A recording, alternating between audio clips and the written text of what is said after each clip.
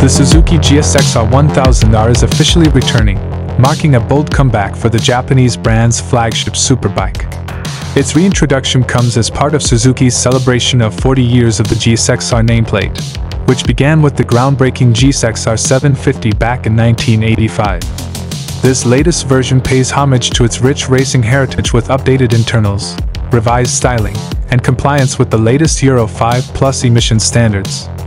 Rather than being a completely new model, the updated GSX-R 1000R builds on the platform introduced in 2017, with a focus on refinement and efficiency. The 999.8cc inline four-cylinder engine remains at the heart of the machine, but has undergone numerous updates to meet modern regulations and performance expectations. Among the key changes are a new crankshaft and crankcases, revised camshafts, and an increased compression ratio from 13.2 to 1 to 13.8 to 1 for improved combustion efficiency and power delivery. Suzuki has also revised the cylinder head and gasket design, along with optimizing the intake and exhaust ports for better airflow. The pistons have been reshaped to accommodate larger valve diameters, and the internal rib structure beneath each piston has been lightened by 3 grams to improve durability and reduce vibration. A new, longer, and slimmer exhaust muffler replaces the previous bulky design, offering both a visual and functional upgrade. The throttle bodies have also been redesigned, now with a 48mm bore, and are said to be more compact and lightweight. Power output is a claimed 192.3 brake horsepower at 13,200 RPM, with peak torque of 110 Nm arriving at 11,000 RPM.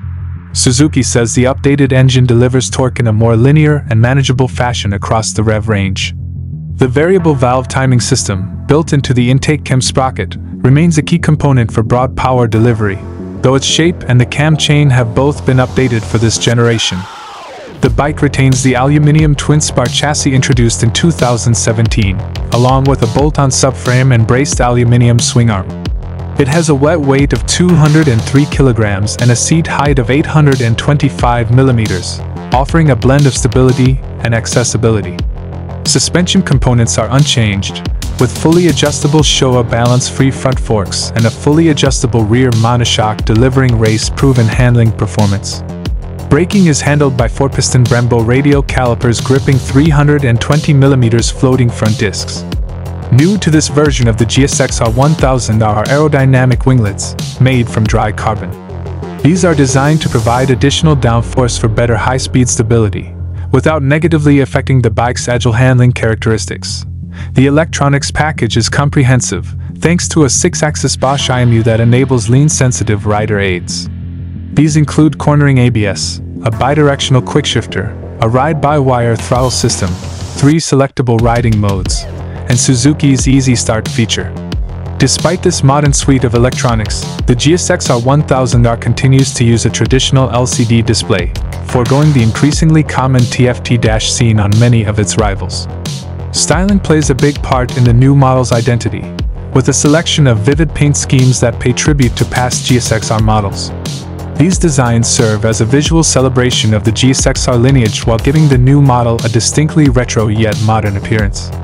In all, the 2026 Suzuki GSX-R 1000R is less about radical transformation and more about honoring a legendary name through thoughtful upgrades and performance refinements. It strikes a balance between heritage and innovation, making it a compelling choice for riders who want a proven superbike with modern compliance and timeless appeal.